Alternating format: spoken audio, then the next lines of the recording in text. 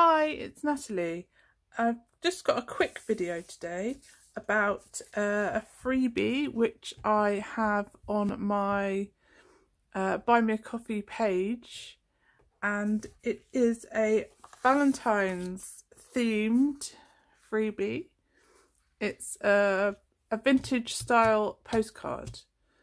Uh, it's the front of the postcard is from a public domain image which I've edited a little bit digitally. And the back of the postcard is from a postcard that I have in my postcard collection as you can see here. Uh, so that's the back. And if you print them out it's a PDF file so you just print them out one and the other one and you can stick them together and make a whole postcard. Or obviously you can use them as separate things if you want to. So that's that's the main thing I'm on here for today. Um, uh, a lot of you probably know about the buy me a coffee uh, pages. Quite a few people have them now. It's quite an easy way for me to share free things uh, and share files. So um, I've got a few things on there at the moment. Um, so I've got this on there and it's all free to download. There's no there's no cost for any of it. Um, and the other thing I have on there at the moment is I have this page that you can download and print off which um, is just a kind of collage page to tear up or um, you, use it however as a page, as a cover.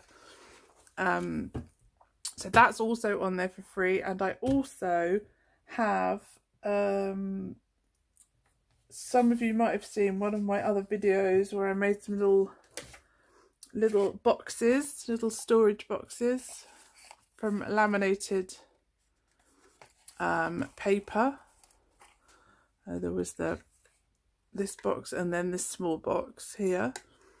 Um, and I have on my Buy Me a Coffee page, I have the templates for the boxes. Uh, these are the ones that I use in the video. I will link the video below if anyone's interested. Um, but these are the these are what I use in the video as the templates and this is also a PDF that you can download for free from my buy me a coffee um, page. So yeah that's it at the moment. I want to add quite a lot more stuff on my buy me a coffee page and most of it will be free.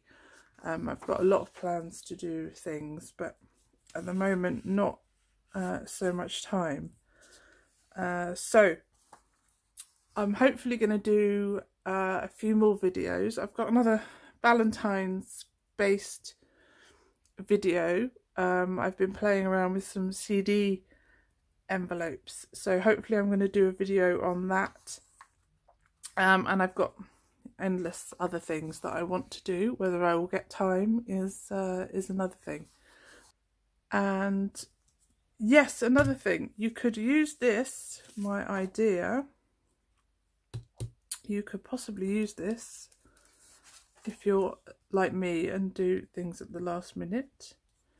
Um, you could make a card of some sort. This is just an A A5 piece of card, cream card, which I've folded in half.